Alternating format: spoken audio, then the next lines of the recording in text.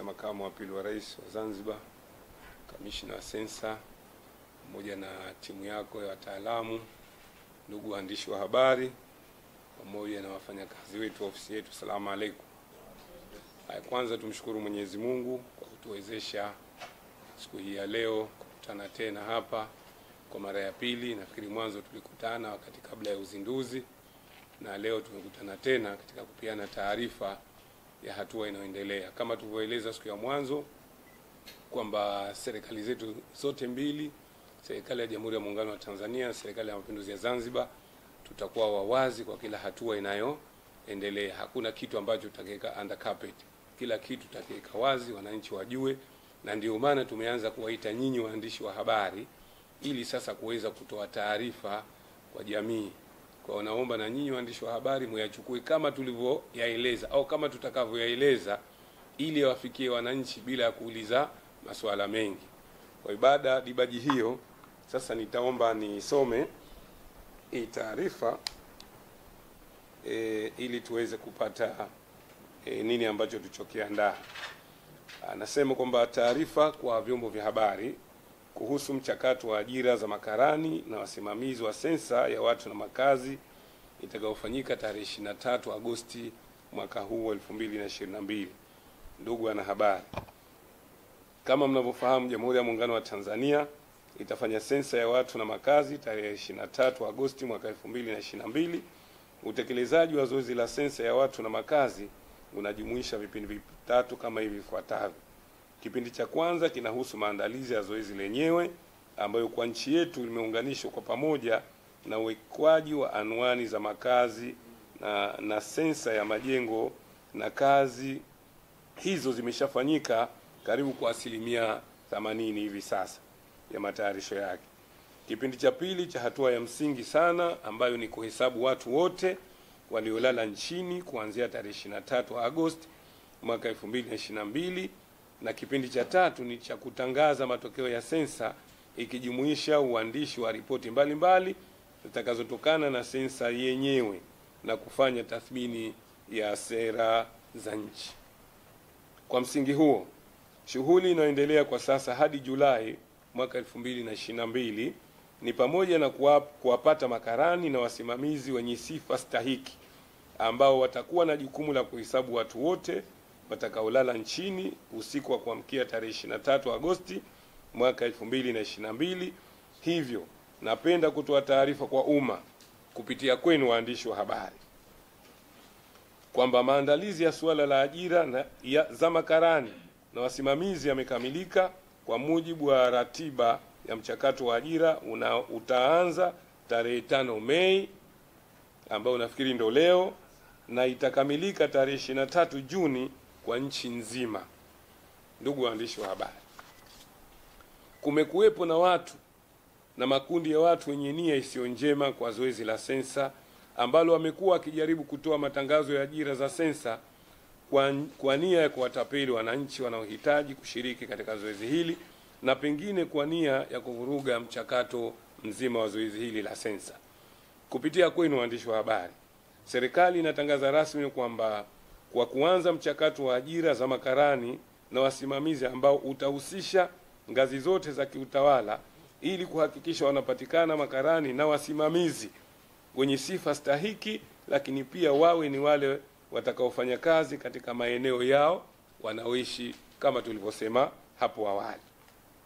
Nipende kuweka wazi, ajira hizi zitaombwa kupitia mtandao, yani online, na hazitahusisha malipo ya aina yoyote kwa mwombaji wa ajira. Aidha, mchakato wa kuchambua maombi ya kazi pamoja na usaili utasimamiwa na kamati maalum itakayoundwa katika ngazi ya kila wilaya na usaili utafanyika katika ngazi ya wilaya kwa baadhi ya nafasi za wasimamizi na katika ngazi za shehia kwa makarani wasimamizi wa maudhui. Ndugu wanahabari, ni waombe Watanzania wote wenye sifa ambao wanapenda kushiriki katika zoezi la sensa kupitia nafasi zilizotangazwa kufuata utaratibu uliowekwa kwa ukamilifu ili kuomba nafasi hizi. Aidha, licha ya mfumo ulioandaliwa kwa ajili ya maombi ya ajira hizi kuwa rahisi, lakini pia kuna mwongozo ulioandaliwa mahususi kwa lengo la kumwezesha mwombaji wa ajira kupitia na kujielimisha namna ya ujazaji wa maombi katika mtandao, yani mtandaoni. Napenda kusisitiza kwamba hakutakuwa na maombi yatakayofanyiwa kazi zaidi ya yale ambayo yaliyofata utaratibu uliowekwa mtandaoni. Mfumo wa kuomba ajira hizi unapatikana kupitia tovuti ya www.ocgs.go.tz. Kwa waombaji wa Zanzibar, kupitia katika tovuti hiyo, mwombaji na watendaji wengine watapata tangazo kamili la kazi lenye orodha ya nafasi zilizopo katika sensa pamoja na vigezo vinavyohitajika kwa kila nafasi. Tangazo hilo linaweza kupakuliwa na kuchapishwa ili lisambazwe sehemu kubwa zaidi kupitia vyombo vyenu vya habari, lakini pia katika mbao za matangazo zilizomo katika majengo za ofisi za umma, lakini vile vile na ofisi binafsi. Ndugu waandishi wa habari, nihitimishe kwa kuwashukuru sana kwa ushirikiano wenu. Kupitia kwenu, imani yenu na serikali ya awamu ya sita ya Jamhuri ya Muungano wa Tanzania, ujumbe huu utawafikia Watanzania wote na kwa pamoja tutakuwa na sensa ya mafanikio kwa ajili ya maendeleo ya taifa ya taifa letu la Tanzania. Sote tujitokeze kuhesabiwa kuanzia tarehe 23 Agosti mwaka 2022. Nawashukuruni sana waandishi wa habari kwa kupoteza muda wenu, kwa kuacha muda wenu na kuja kuweza kunisikiliza. Nafikiri kama tulivyoeleza mwanzo, e, kupitia hii tovuti ambayo tutakayoitoa, nafikiri ukiingia mule kila kitu kita kitakuwa wazi. Kwa hiyo nafikiri kitu cha mwanzo sisi kwanza tuangalie, tufungue ile tovuti ambayo nimeitaja, na kama hamkuipata vizuri, baadaye tuta kwenu nyinyi. Kila kitu mule kitakuwa kitakuwa kiko kiko wazi. E, lakini masuala ambayo mlioniuliza sitaki niajibu mimi moja kwa moja, kwa sababu kama tulivyosema, zoezi hili tuna kamishna wetu wa Zanzibar ambaye yeye ni kamishna mwenza pamoja na kamishna mwenzake wa Jamhuri ya Muungano wa Tanzania. Sasa kwa sababu haya ni mambo ambayo hayatakiwi kujibiwa verbal, yanatakiwa kujibiwa kama yalivyokubaliwa na kama kamati ilivyopanga, na kwa kuwa kamati tulioikabidhi kazi hiyo ipo, basi nitaomba masuala haya e, ayajibu yeye kwa ufasaha zaidi, yatakayobakia nitaka nitayajibu mimi. Katika ile website utakapokwenda, kuna tangazo lile la la ajira ambapo zimeelezwa sifa zake, kwa sababu kuna makundi tofauti ya watu ambao tutawahitaji. Tuna kwanza kundi la wadadisi, kuna sifa zao zimewekwa, awe na sifa gani. Kuna kundi la wasimamizi, na wasimamizi tuna wa aina mbili, kwa sababu kama tunavyojua sensa yetu hiyo mwaka huu tunatumia utaalamu wa teknolojia ya kidijitali. Kwa hiyo tutatumia vishkwambi ama tablets. Kwa hiyo tutakuwa na wasimamizi wa aina mbili wasimamizi wa maudhui ambayo ile content sasa yenyewe ndio vipi, maswali yanajibiwa vipi, swali hili lijibwe hivi. Tutakuwa na wasimamizi wa aina hiyo, na pia tutakuwa na wasimamizi wa tehama ambao yeye atakuwa anashughulikia vile tablets ime, imekwama, mfumo unafanya vipi, kwa sababu mambo yote yataingizwa katika tablet ya yule karani au msimamizi. Kwa hiyo kutakuwa na hawa wasimamizi. Kwa hiyo hawa makundi yote matatu tayari yamewekwa sifa zake katika hilo tangazo la ajira, lakini sifa kubwa na muhimu awe ameanzia form 4 kwendea juu, na pia kwa hawa watehama anatakiwa angalau ana diploma na kuendelea, na na pia wawe tayari wana, uwezo wa kutumia hizi tablets. Kwa hizo ndio sifa kuu, pamoja na sifa nyingine ambazo zimeelezwa katika hilo tangazo, ikiwemo na kazi zao pia ambazo watafanya. Kwa hiyo mtu akiangalia tangazo ataangalia zile sifa, ataangalia na kazi. Kwa hiyo mwenyewe pia ataweza kujipima, mimi kutokana na vigezo hivi na kazi hizi zilizopo nitaweza au siwezi. Kwa hiyo kama anaona anaweza, ataweza kuendelea na mchakato. Kama akiona hatoweza, ata ataachana nao. Kuhusiana na idadi za nafasi za Zanzibar, kwanza tunakwenda idadi ya watu kwa mujibu wa maeneo ya kuhesabia watu. Kwenye sensa tunakuwa tuna maeneo madogo madogo ya kuhesabia watu ambayo yanakaa kuanzia hamsini mpaka mia moja. Kwa hiyo kila eneo moja inatakiwa awe na karani mmoja wa kuhesabu. Hii imewekwa maksudi kimataifa kwamba kuhakikisha kila mtu ambaye analala anahesabiwa na anahesabiwa mara moja. Kwa hiyo lile eneo moja la kuhesabia watu anawekwa karani mmoja. Na Zanzibar tuna maeneo jumla ya 4313. Lakini pamoja na hayo, tunakuwa na wadadisi wa reserve. Kwa lile swali la yule mmoja ambaye amesema kama kuna watu ambao watadrop njiani, kwa hiyo wakati wa mafunzo hawa reserve pia tunakuwa nayo, kuna idadi yake kwenye kila karani. Kwa hiyo ina maana kama ikitokezea binadamu, sote binadamu, kuna dharura nyingi, ameumwa hawezi tena, anaweza taka akafariki au dharura nyingine yote ikamtokezea. Kwa hiyo wako reserve ambao wanaweza kureplace zile nafasi, na hao wote pia wanapewa mafunzo, sio kama wanawekwa tangu mwanzo. Kwa ule mchakato wote, na wao hawa pia watahusika kwenye kuomba, ina maana kwenye screening wote watafanyiwa, na baadaye kwenye mchakato wa mafunzo wote watafundishwa na baadaye tutakuja kuna kuna kuwa na mitihani pia watu wajue, kwa sababu huko sio kwamba ushachaguliwa ushapita hii screening ya mwanzo interview ndio ushapata. Wakati wa mafunzo unaweka darasani siku kumi na moja no ishirini na moja sorry, sio kumi na moja siku ishirini na moja watakaa darasani, watasomeshwa maudhui na kutakuwa na mitihani, na wale ambao watafeli wataachwa, sio tu kwa sababu kwamba wameshapita huku unakwenda. Kwa hiyo wakisha kupita hapa, kwa hiyo wale ambao watachaguliwa kuna hiyo idadi ambayo ya kwa mujibu wa kila eneo atakuwa mtu, lakini kutakuwa na hawa reserve ambao just in case ikitokezea lolote lile wataweza kufanya ile kazi ili iendelee. Kwa hiyo ajira zimegawa vipi kwa Unguja na Pemba na ile hesabu ya muungano? Hii hatujafata asilimia ishirini na moja ile ya kawaida ya ajira, tumefuata kwa idadi ya maeneo yetu ya kuhesabia watu. Umeelewana eh? Kwa hiyo ina maana Unguja kuna maeneo yake, kwa hiyo kutakuwa na makarani kwa mujibu wa maeneo yaliyopo Unguja, na Pemba kuna maeneo yake yametengwa, kwa hiyo itakuwa kwa mujibu wa maeneo ambayo yametengwa kwa Pemba, na Tanzania bara pia kutakuwa na idadi yake kwa mujibu wa maeneo ambayo yametengwa kwa Tanzania bara, kwa sababu tukilinganisha maeneo yetu ya Zanzibar na Tanzania bara, obvious tunaona. Hii asilimia ishirini na moja tusingeweza kufikia. Kwa hiyo hii ni kwa mujibu wa yale maeneo ambayo yametengwa, na uwiano wa wanawake na wanaume, kwa sababu hii hatujaweka, ingawaje watapewa kipaumbele, lakini itategemea hasa ni zile sifa, sababu tunachotaka ile sifa, mtu ambaye ataweza kufanya sensa, tukapata matokeo ambayo ya uhakika na kwa kufuata vigezo na masharti ambavyo vimeweka. Nafikiri kwa nimejibu yote kwa mpaka hapo ambayo yameelezwa. Naomba kuwasilisha E, suala la ajira kimsingi timu yetu ya wataalamu imelifanyia kazi sana, na tumesema kwamba hii fursa tuigawanye katika makundi yote. Kwa maana hiyo, kuna asilimia thelathini hawa watakuwa ni maafisa kutoka ndani ya serikali, yani waajiriwa wa serikali moja kwa moja, yani ndani ya mawizara, ndani ya maidara. Lakini kuna asilimia ishirini ni walimu, asilimia ishirini ni walimu. Kwa hiyo tumezingatia hiyo.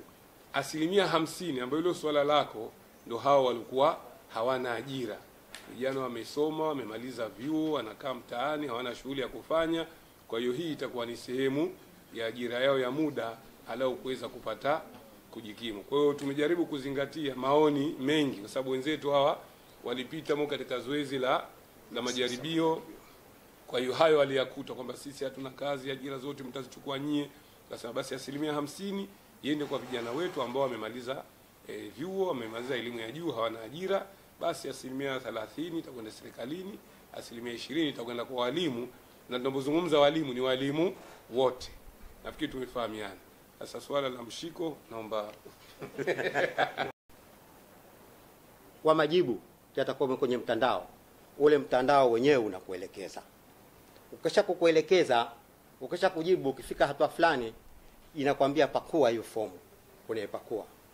Ukisha kuipakua unaiprint. Unapoprint, ukipata ile hard copy ambayo baadaye itakuwa kiambatanisho, ndani mna maelezo ma, ma, maswala yanaulizwa. Maswala, maswala hayo lazima ukapate idhini ya mwajiri. Sasa kama hujaajiriwa, manake huhitaji idhini ya mwajiri. Kwa hivyo kuna sehemu tatu pale katika fomu. Kutakuwa kuna sehemu ya sheha eh, kuna sehemu ya ya shuhuda au anayekudhamini na kuna shughuli sehemu ya mdhamini. Kwa hivyo automatic eh, kwa kujaza eneo lile utaonekana kwamba wewe hujaajiriwa au umeajiriwa. Kwa hivyo haina matatizo. Lakini jingine ambalo nitaka kusema ambalo mtakwimu mkuu alisema ni kwamba tunachoangalia ni sifa na uwezo wa kukidhi vigezo vya sensa. Sensa hii tunafanya kwa kutumia teknolojia hali ya juu, kwa hivyo lazima waingie watu ambao wanao uwezo. Tutaangalia masuala ya ajenda eh, kwa sababu wanawake ni asilimia hamsini na mbili ya wale, lakini first, eneo la kwanza ambalo tutaliangalia na tunalisisitiza ni uwezo kulingana na sifa zilizotajwa ambazo zitaonyeshwa na tumesema kwamba zimeanza form 4 hadi hata kama una digrii ya kumi uta compete kulingana na mahitaji, kulingana na uwezo, kulingana na sifa. Lakini na masuala ya ajenda, kwa sababu tuko wanawake na wanaume katika nchi, tuta tutaliangalia hilo. Lakini hili la mwisho ni kwamba kwanza, kama Mheshimiwa Waziri alivyosema, tutahakikisha kwamba watakaofanya kazi hii wanatoka katika maeneo yale wanayotoka eh? wala hakutokuwa na kwamba unatoka we kaskazini Unguja au mjini mjini magharibi unakwenda kufanya kazi Micheweni. So kita kwanza ukifanya hivyo, maana utatudai DSA. Katika sensa hakuna malipo ya DSA, unafanya kazi pale pale kwenu.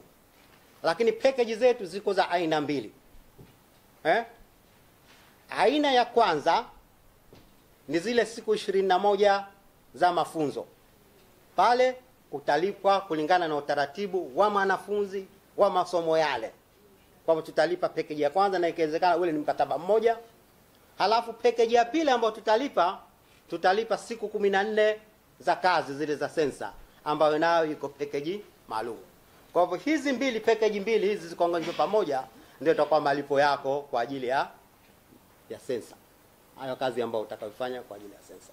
Kwa hivyo mfumo wetu wa malipo utakuwa kama hivyo ifuatavyo, lakini msisitizo wetu ni kwamba hii ni kazi muhimu kwa ajili ya ma, kwa, kwa ajili ya maendeleo ya nchi yetu. Hii ni kazi muhimu ili tupate information na taarifa sahihi, basi lazima taarifa zile zitafutwe katika watu sahihi wana uwezo. Kwa hivyo vijana mliokuwa katika serikali, walimu na wale ambao wako kwenye sekta binafsi na, we, na ambao wanajitegemea wenyewe na wale ambao hawajaajiriwa, tunaomba kwa sababu ni kazi ya taifa ye washiriki, lakini muhimu ashiriki mwenye sifa kulingana na nafasi zilizopo. Nafikiri Mheshimiwa Rais wa Jamhuri ya Muungano wa Tanzania anaendelea kusisitiza, anasema mtu ambaye alikuwa hakuhesabiwa atakuwa na wazulumu wenzake, atakuwa anakwenda hospitali anakula dawa, anatumia dawa za wenzake waliohesabiwa. Hapo inakwenda mpaka katika mishahara na kila kitu. Kwa hiyo naomba sana watu waache tofauti zao za dini. Kuna kipindi kama mtakumbuka hapa, kuna watu waliambiwa kwamba kama utakwenda kuhesabiwa basi ndo talaka yako. Tukenda tukafanya kazi kubwa sana, sijui Chwaka wapi wapi huko, lakini stili na wengine hawakuweza kuhesabu. Ama mtu anakuambia shatamkiwa, na ukija katika sheria za Kiislamu tamko ndio hiyo kwa kwa hiyo watu walishindwa kuhesabiwa kutokana na na, na zuio la waume zao. Kwa hiyo tunaomba safari hii mambo yale yasijirejee. Sasa hivi kama tunavyosema, watu wanalalamika, oh, mafuta yanapanda. Sasa serikali inataka kuangalia isamehe ngapi ili hii hali ya maisha ikae sawa. Kwa hiyo la mwisho kabisa, natoa wito kwa masheha. Sasa nakuja kwa watu wangu mimi, serikali, masheha, tunaomba sana, kila mwananchi wa Zanzibar ana haki katika zoezi hili. Bila ya kujali rangi, kabila, dini, jinsia, itikadi ya aina yoyote. Tunaendelea kusisitiza, tutachukua hatua kali sana kuja kusikia kwamba kuna mwananchi ana sifa amekwenda kutaka kupata kielelezo kwa sheha akakikosa, kwa sababu hili zoezi, unaposema naishi katika shehia fulani, ina maana lazima kuna eneo sheha athibitishe ukaazi wako. Sasa usije ukasema "Ah, huyu manake ah, manake zote katika zoezi la sensa tunaziweka upande, sensa kwanza, mambo mengine baadaye. Nawashukuruni sana waandishi wa habari kwa kuweza kunisikiliza. Asanteni sana, karibuni sana.